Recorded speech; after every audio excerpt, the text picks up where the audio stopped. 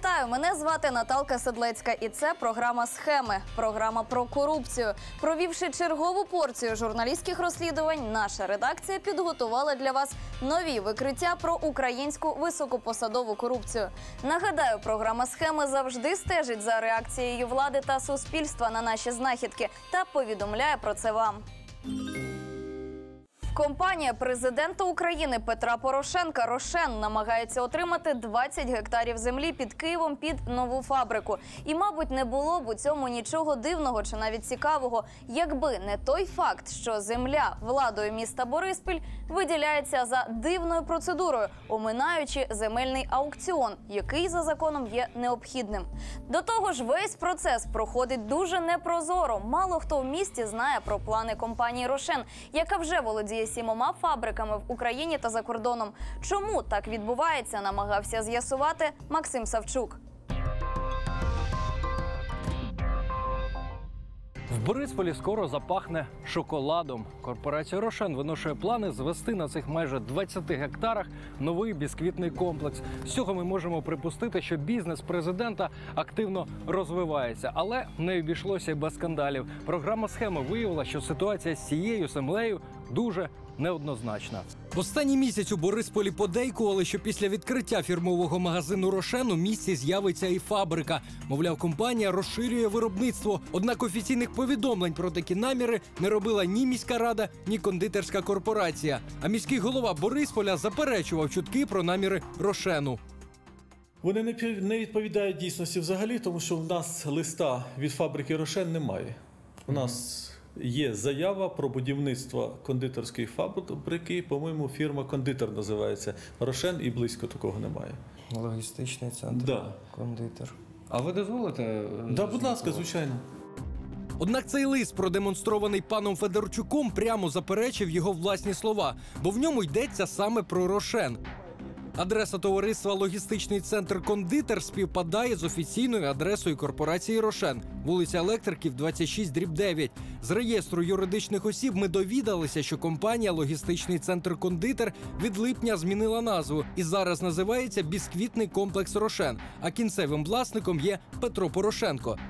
Директор фірми Костянтин Півень просить мера розглянути питання щодо наявності у місті земельної ділянки для будівництва бісквітного комплексу площею 16-20 гектарів з очисними спорудами для 500 кубометрів стоків на добу із зручним логістичним розташуванням та з чистим відчуженням земельної ділянки.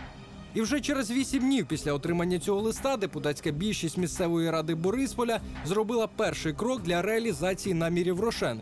Однак не запропонувала купити чи орендувати ділянку, а вдалася до цікавого кроку. Почала процес виділення землі одному з місцевих комунальних підприємств.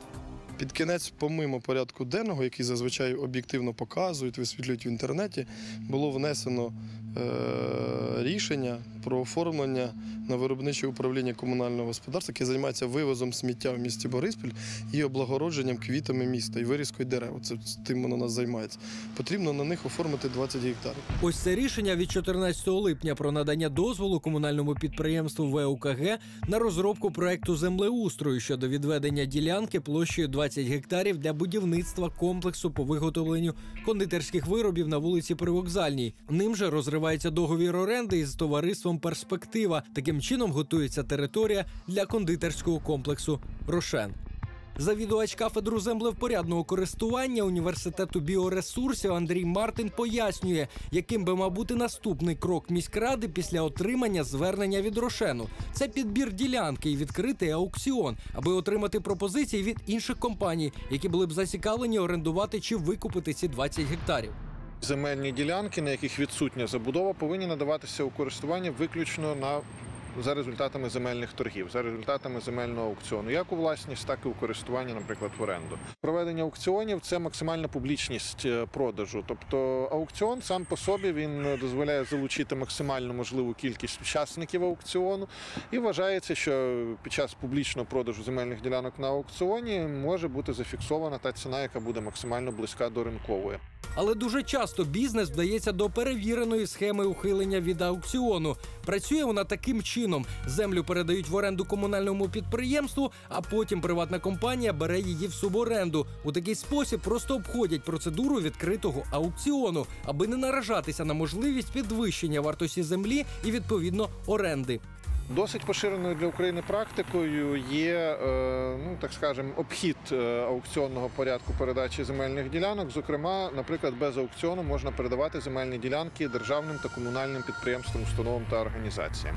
Тому в тих випадках, якщо розпорядник земель, це можуть бути як місцеві ради, так і там адміністрації. І вони можуть просто-напросто передати земельну ділянку без аукціону в користування комунальному або державному підприємству, після чого підприємство укладає інвестиційні договори із приватними компаніями. І справді у порядку денному сесії Бориспільської міськради 8 вересня з'явилися пункти про передачу в оренду земельних ділянок комунальному підприємству в районі тієї ж вулиці Привокзальної. На столі хліб ложать, не туалет! Ти!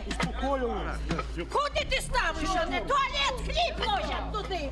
Баби ложать вони туди хліб! От туди хай стоїть! Це моє право це робити. Моє Страшне, право. і сядь і сади на ньому, отак, ну давай я буду сидіти! Вони будуть. Хліб на столі ложать, ну де туалети? Засідання триває весь день і в запеклих баталіях. Під час перерви ми намагаємося поспілкуватися телефоном із директором кондитерського комплексу Рошен Костянтином Півнем. Чому корпорація Рошен не йде на аукціон відкритий або на конкурс, а вигадує такі складні схеми для отримання 20 гектарів землі? Ну, вы извините, я не имею права отвечать на телефонные звонки журналистам. Але вже за кілька хвилин ми зустріли півня у сесійній залі. Прийшов час голосування за надання в оренду ділянок комунальному підприємству для перспективного будівництва Рошенівської бісквітної фабрики. Якщо ми сьогодні оце прошляпимо, то це буде грош ціна нам в базарний день. Тут немає що нікому робити, ні в виконавчому комітету, ні депутатам. Это будет фабрика, рассчитана, ну, я думаю, 2000, возможно, чуть-чуть меньше людей.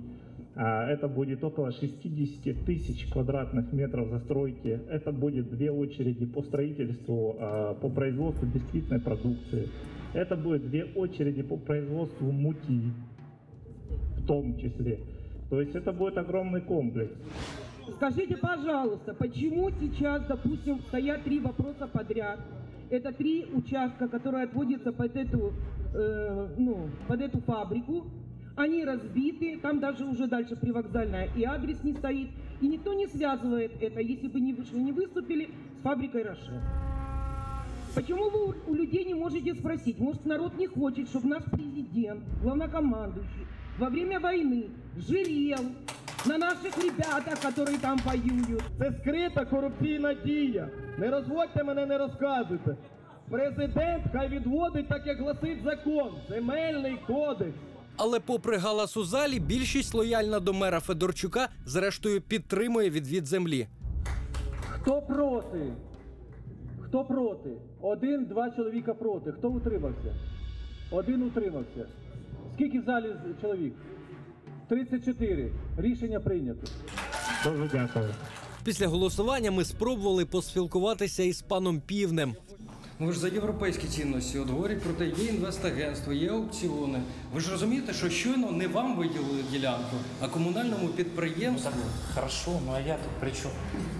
Обращайтесь, у нас в Рошені в головном офісі є головний речник Інна Петренко зовут, она ответит вам на сьогодні. Але він все ж встиг відповісти, у зв'язку із чим Рошен нарощує потужності. Ви не можете ответить на вопрос, в зв'язку з чим розширення корпорації идет? Но только если вы вставите а, а, в мою речь о вашем непрофессионализме. Тогда я еще, Конечно. еще раз Конечно. расскажу. Во время экономических кризисов у компании, у любой компании, практически у каждой падает объем производства. В связи с этим у нее снижается необходимость в содержании большого количества сырья и большого количества готовой продукции. Объемы упали, количество сырья и готовой продукции упали. Вот откуда берутся деньги. Объемы упали в два раза, прибыли упали у компании. Это не то, что там у всех плохо, у нас хорошо, а это то, что те деньги обычно, когда бизнесмены мировые берут, забирают, кладут себе в карманы, ждут лучших времен. Компания Рошен хочет проинвестировать капитальное строительство. Отже, колишній регіонал, мер Борисполя Анатолій Федорчук, нагороджений колишнім лідером партії Миколою Азаровим за вагомий внесок у розвиток партії регіонів, допоміг корпорації Рошен отримати 20 гектарів землі у Борисполі на позаконкурсних умовах.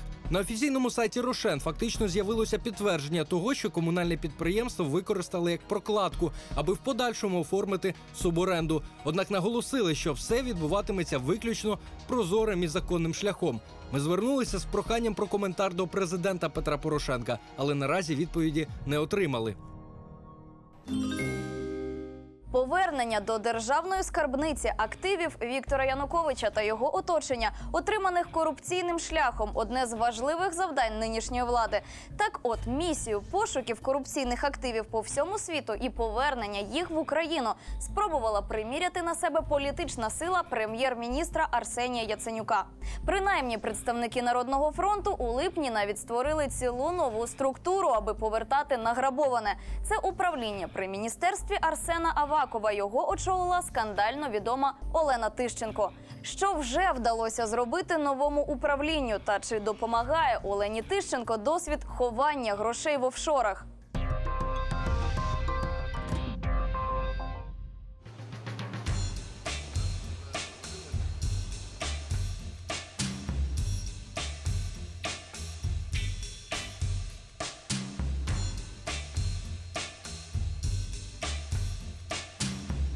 Сумуєте за Лондоном?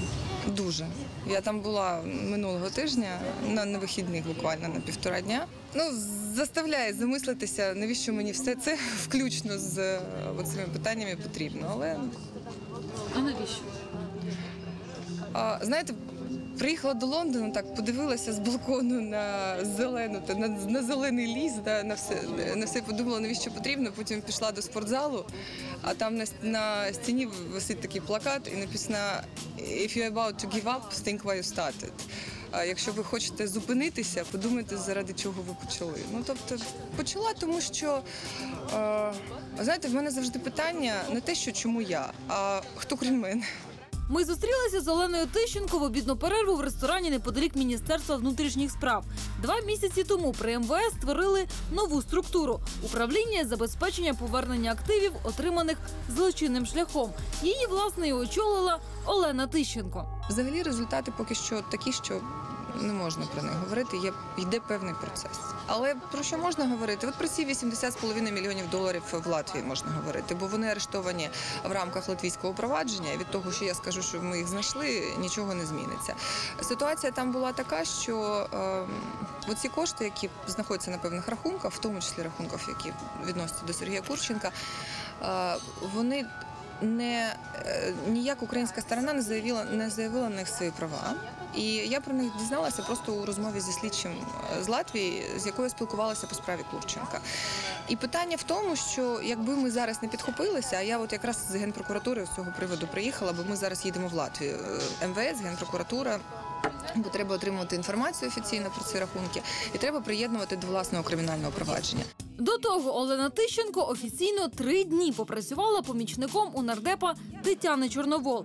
Саме вона хотіла бачити Тищенко на новій посаді. Це призначення пролобіювала я. Буквально було пролобійовано шантажем Яценюка і Авакова. Як ви насправді, насправді вона єдиний спеціаліст у всьому світі, який може потягнути цю роботу. У четвер, 3 вересня, Тетяна Чорновол зареєструвала у Верховній Раді законопроект про особливий режим спеціальної конфіскації майна. Документ пропонує повернути державі власність колишнього президента Віктора Януковича, прем'єра Миколи Азарова та ще 20 осіб. Перелік тих, хто буде позбавлений власності, встановлений у законі поіменно. Але за міжнародними правилами, під якими підписалася і Україна, закон не може діяти проти конкретних особистостей.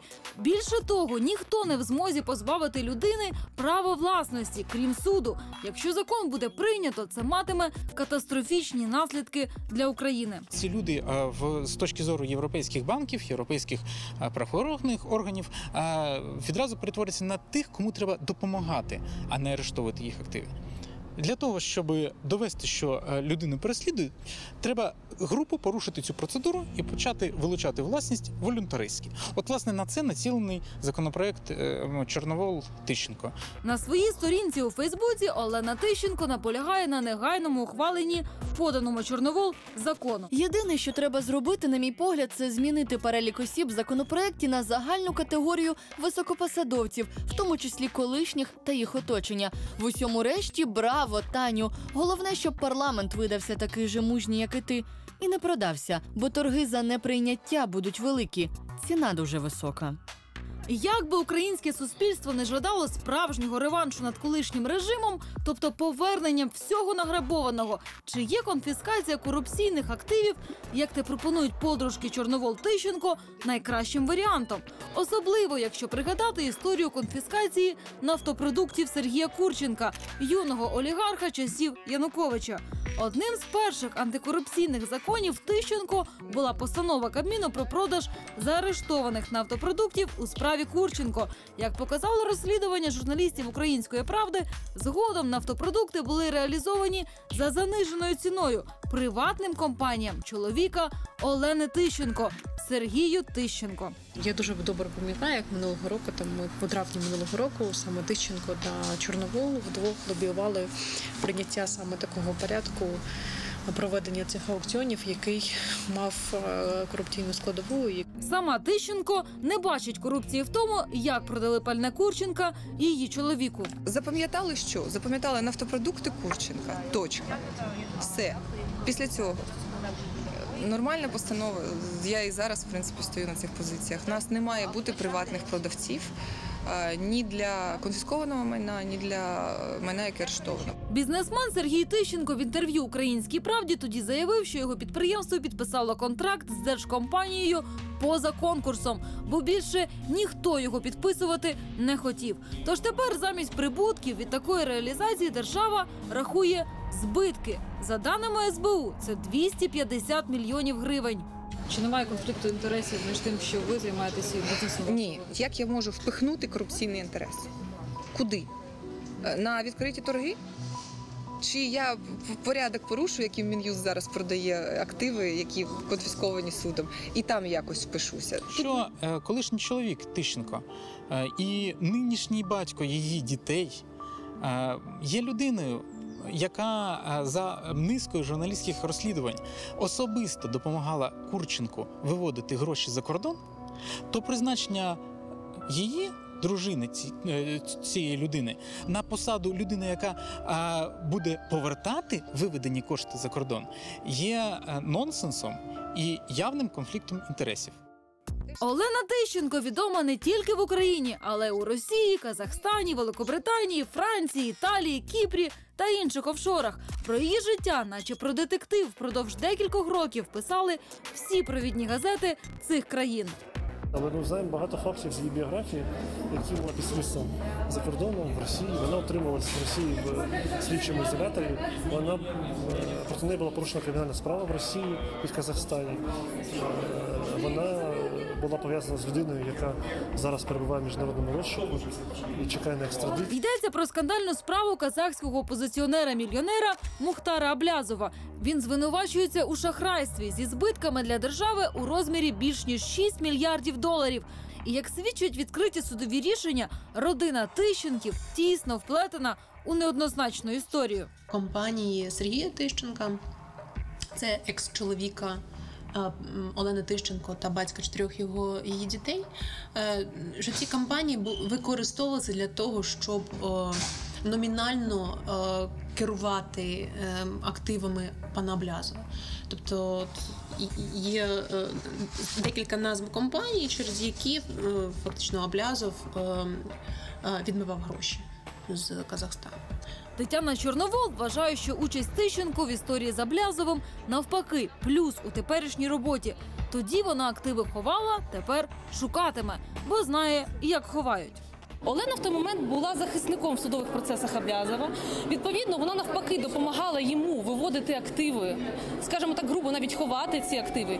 І розумієте, людина з таким досвідом знає, як їх шукати. Чи є відносини зараз з паном Аблязовим? Чи ви спілкуєтесь? Ні, ну як можна спілкуватися з людиною, яка перебуває у, е, під вартою у Франції? Ні, ми не спілкуємося. Ми не спілкуємося. Приватні детективи простежили за Мухтаром Аблязовим минулого літа до вілли на французькій рив'єрі, бо сіли на хвіст Олені Тищенко, українському юристу. Вони слідкували за нею до моменту, коли вона взяла таксі до аеропорту Хітроу і полетіла до Ніци. Вже на узбережжі між Ніцею та Марселем на віллі Нептун з шістьма спальнями вони натрапили на Аблязова в нижній білизні. Можете пригадати той останній раз, коли ви бачились, і як власне його затримували? Ні, по-перше, я не знаю, як їх затримали. Була я не я не була присутня. По-друге, коментувати про спілкування з Мухтаром Аблязовим для мене це також некоректно, бо е, в мене є певний статус в тих справах, і е, щодо нього йде розслідування, тому ніяких коментарів тут не буде. Я можу сказати одне, я не була присутня, і деталі я не знаю. Я їх із преси точно так же прочитала. В тому числі про себе, деталі, яких я не знала. Які у вас відносини з вашим чоловіком зараз? Хороше. Хороше. Він достойна людина, він батько моїх дітей. е, Діти його люблять. Аби зрозуміти, в наскільки хороших відносинах залишаються вже розлучені Тищенки, і йому і їй по 39 років, нам довелось заглянути в реєстри нерухомості багатьох країн.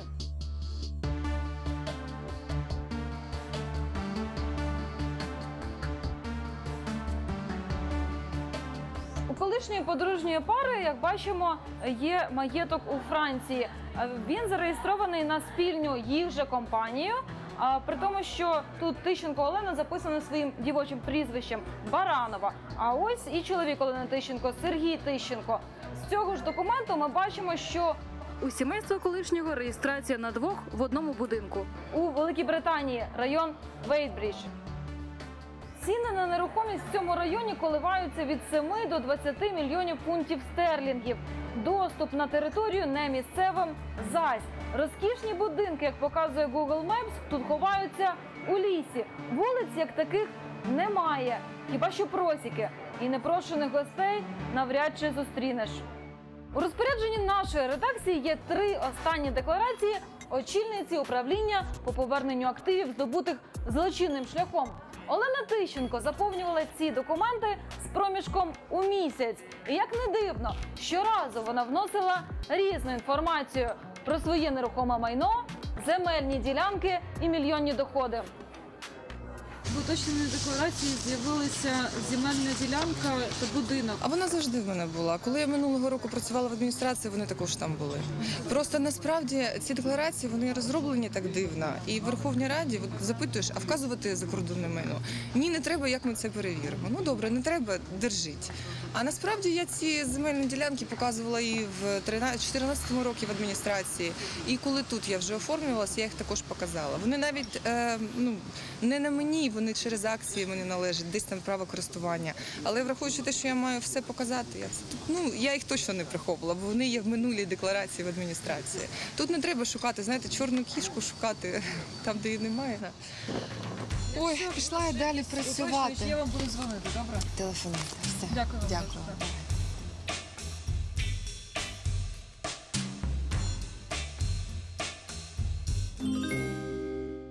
Радикальна партія Олега Ляшка увійшла в парламент під красивими гаслами, в тому числі і радикальної боротьби з корупцією. Але коли прийшов час зробити це не словом, а ділом, наприклад, декларуючи власне майно та активи, радикалізм якось вщух.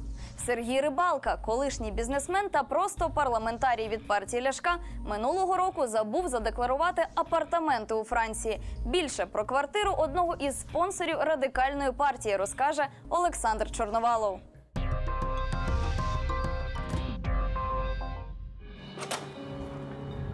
Купуючи популярні в Україні снеки, запаковані в пакети насіння соняшнику, горіхів або картопляні чипси, споживач може і не підозрює, що дохід від їх продажу отримує сім'я Сергія Рибалки.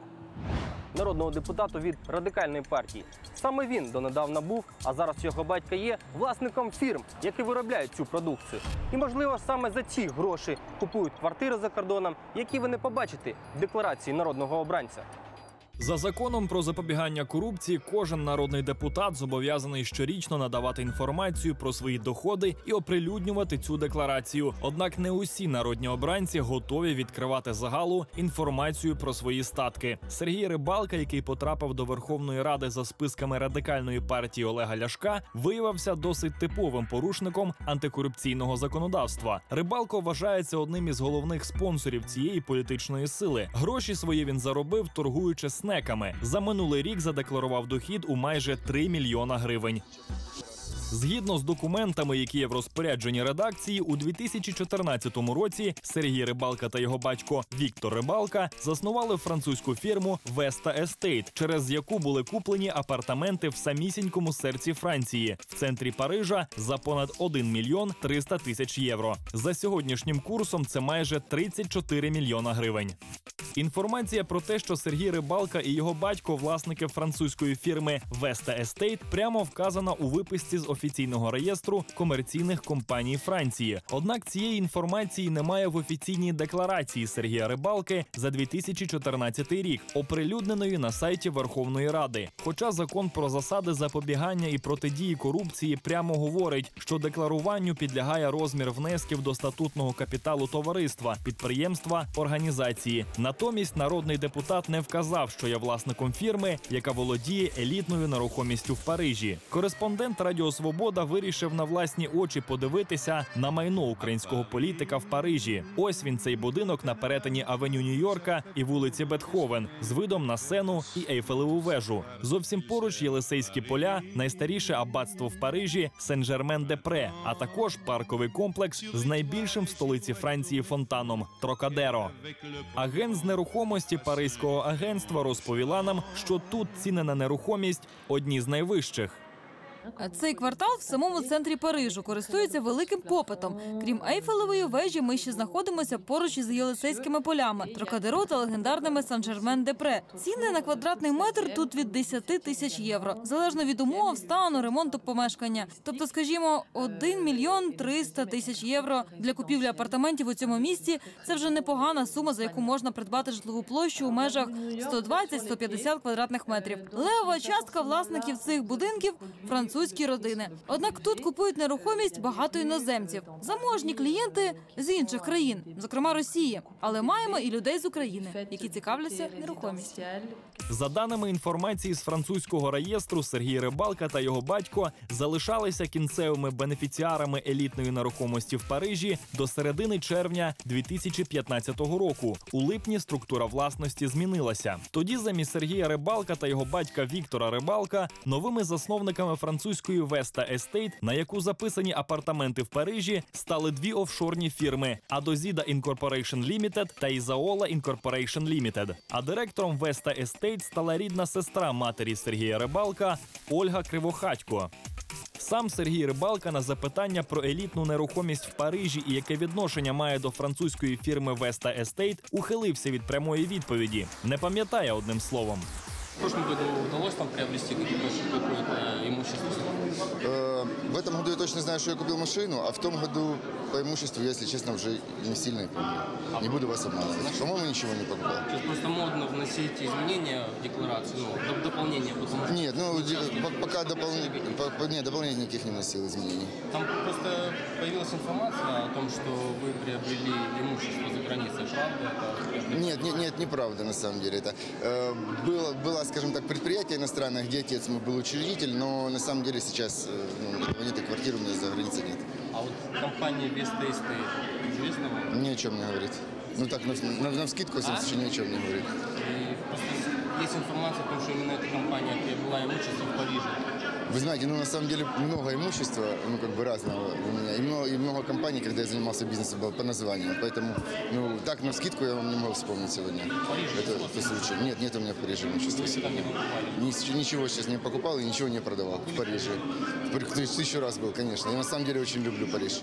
Таке ставлення до заповнення декларації народним депутатом незалежні юристи пояснюють відсутністю реального серйозного покарання. Народний обранець, е, який володіє е, майном як в Україні, так і за кордоном, зобов'язаний відображати е, інформацію про це майно у своїй е, антикорупційній е, декларації. За невідображення інформації про це майно до 2015 року цьому народному обранцю загрожує хіба що адміністративна відповідальність. У цьому році набрали чинності зміни до антикорупційного законодавства, якими внесені зміни до кримінального кодексу.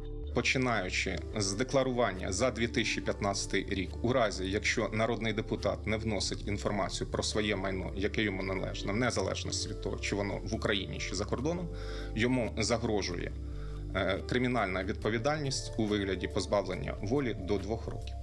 Відомий борець з корупцією Віталій Шабунін не виключає, що перереєстрація французької фірми, якою ще нещодавно володів Сергій Рибалко і його батько, на офшори є спробою уникнути відповідальності в майбутньому. Суть декларування полягає в двох речах. Перша відповідальність кримінальна. Тобто, чи гроші, які на цю квартиру були витрачені, зароблені або не або чесним, або нечесним е, шляхом. Друга відповідальність, яка випливає з брехні в декларації е, виборчою посадою, це обман власних виборців. Ну, бо логічно, що люди, коли вибирають когось, мають розуміти його фінансовий стан це прямо впливає на їх вибір. І виходячи з цього, е, політичну відповідальність, електоральну відповідальність такий політик мав би нести постійно, незалежно від того, чи є кримінальна відповідальність в нормативній базі самої країни. Будемо сподіватися, що кримінальна відповідальність, помножена на ризик втрати електорату у випадку відвертої брехні в декларації з боку українських політиків, все ж таки змусить їх говорити правду своїм виборцям. Нам з вами.